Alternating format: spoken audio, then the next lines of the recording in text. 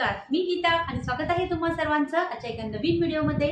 तर कसं आहे की आपल्या घरातील कोणतीही स्त्री एखादी हाऊसवाईफ असेल किंवा वर्किंग वुमन असेल तर प्रत्येकीलाच असं वाटत असतं की आपल्या किचनमधली कामं ही अगदी फटाफट संपावीत आणि त्यासाठी ती बरेच असे वस्तूसुद्धा विकत घेत असते.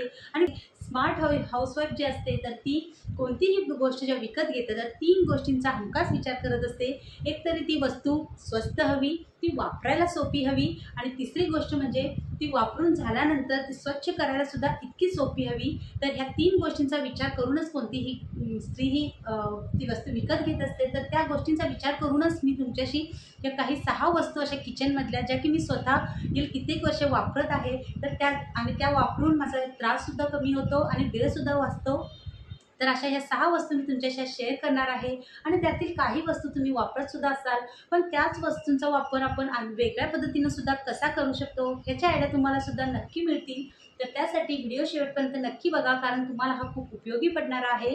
आणि जर व्हिडिओ आवडला तर लाईक करायला विसरू नका. आणि असेच माझे नवीन नवीन व्हिडिओ पाहण्यासाठी माझ्या चॅनलला सबस्क्राईबसुद्धा नक्की करा. आणि साईडला जे घंट्या चाकरचं बटन असतं त्यालासुद्धा दाबून ऑलला सेट करा. तर जास्त वेळ आता न घालवता चला सुरू करूयात आजच्या व्हिडिओला. तर आपली ही पहिली वस्तू आहे ती म्हणजे व्हेजिटेबल कटर तर ही ॲक्च्युली प्लॅस्टिकमध्ये आहे पण त्याचे ब्लेड जे आहेत ते प्युअर स्टेनलेस स्टीलचे आहेत. आणि बरेच वर्ष झालं मी हे वापरते आणि त्याची धार अजिबात कमी झालेली नाही आहे आणि हा जस्ट मी फक्त नव्याण्णव रुपयेमध्ये घेतला होता. आणि हा कुठेही बाहेर अगदी रोडवर सुद्धा मिळतो. ते आणि ते समोर ह्याला पिलरसुद्धा दिलेला आहे. त्याचासुद्धा आपण वापर भाज्यांची सालं काढण्यासाठी करू शकतो. तर ही सुद्धा वस्तू मला खूप उपयोगी पडते. आणि हा कटर जो आहे तो वापरायला सुद्धा खूप सोपा आहे. मागून जस्ट असं प्रेस केलं तर आपल्या भाज्या ज्या आहेत ते कट होतात.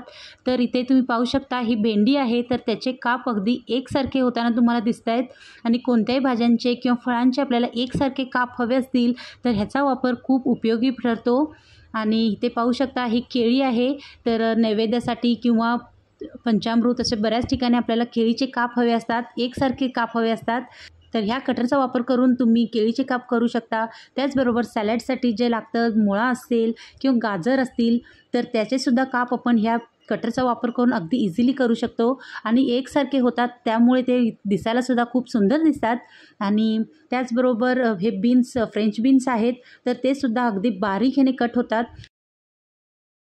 त्याचबरोबर तुम्ही ते मिरचीसुद्धा ह्याने कट करू शकता. जेव्हा आपल्याला बारीक काप हवे असतात मिरचीचे तेव्हासुद्धा ह्याचा वापर तुम्ही करू शकता.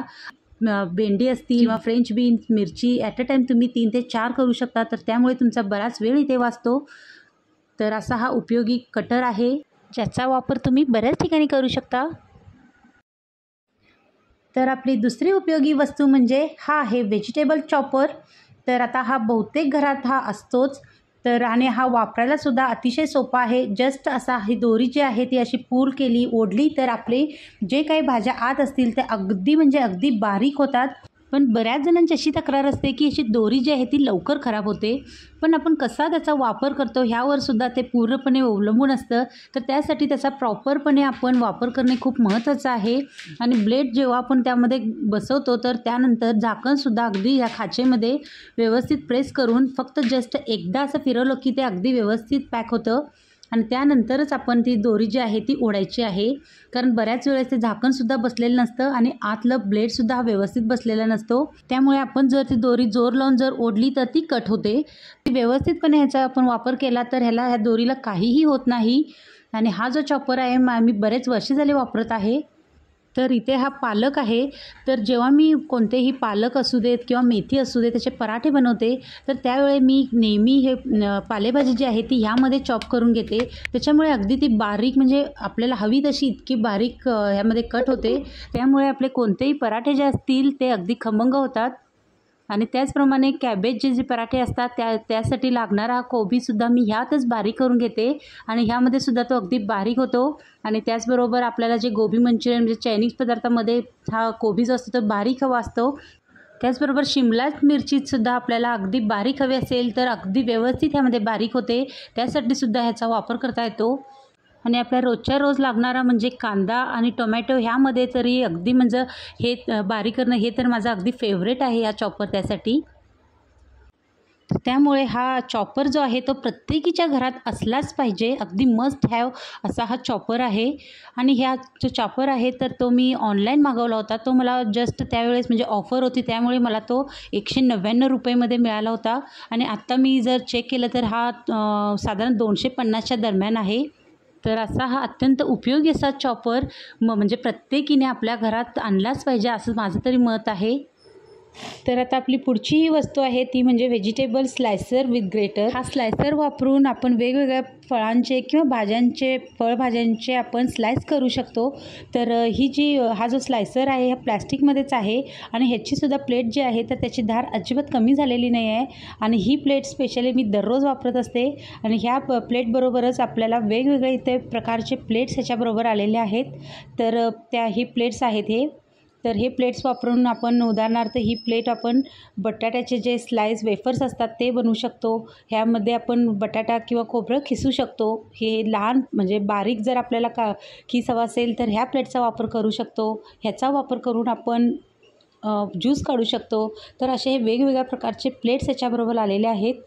तर ह्यापैकी ही जी आता मी प्लेट लावलेली आहे तर ह्या प्लेटचा वापर आपल्याला रेग्युलर होतो. तर तो कसा होतो हे मी तुम्हाला दाखवते. तर आता ह्या कोबी आहे. आणि कोबीची भाजी करायचं म्हटलं की एक त्याचे कोबी चिरणे हे म्हणजे एक मोठे डोकीदुखी असते कारण तो खूप वेळ खाऊ प्रकार आहे. आणि ते पण इथे बघा मी तुम्हाला दाखवत आहे ह्या स्लायसरचा वापर करून मी दररोज म्हणजे कोबी मला अगदी काहीही वेळ लागत नाही कट करण्यासाठी. तर इथे तुम्ही पाहू शकता कोबी किती छान तऱ्हेने असा कट झालेला आहे. आणि कोबीबरोबरच जे खोबऱ्याचे काप असतात ओला असू दे किंवा सुका खोबरं असू दे तर त्याचे स्लाइस ह्या स्लायसरने खूप छान होतात. अगदी पातळ असे खोबऱ्याचे प काप ह्याने होतात आणि पटकन होतात. तर इथे तुम्ही पाहू शकता. तर अशा पद्धतीने ह्याचबरोबर तुम्हाला जर सॅलॅडसाठी जर भाज्यांचे काप हवे असतील तर ते सुद्धा आपण त्याच्यासाठी सुद्धा ह्याचा वापर आपण करू शकतो. तर अशा पद्धतीने आपण हे वेगवेगळे जे प्लेट्स आहे त्याचा वापर करून आपण रेग्युलर आपल्याला लागणारा जो वेळ आहे तर तो क वाचवू शकतो.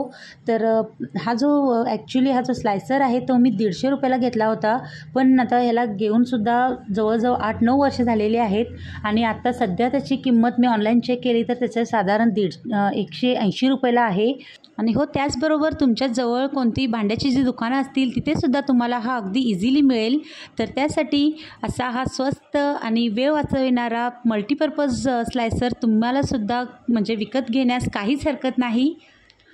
तर आपल्याला उपयोगी पडणारी पुढची वस्तू आहे हा आहे नाईफ शार्पनर म्हणजेच जे चाकू किंवा सुरी आपण ज्याने धार करू शकतो असा हा नाईफ शार्पनर आहे. तर याला अशा पद्धतीचे दोन्ही साईडला दोन ब्लेड्स असतात आणि त्या दोन्ही ब्लेडच्या मध्ये आपण जर एक पाच ते सहा वेळा आपला चाकू जो आहे तो घासला की आपल्या चाकूला अगदी नवीन असल्यासारखी धार होते. तर काय होतं की आपल्याला बऱ्याच वेळेस म्हणजे आपण कितीही चांगल्या पद्ध कंपनीचे जरी सुरी किंवा चाकू घेतले तरी काही दिवसांनी त्याची दार ही जातेच.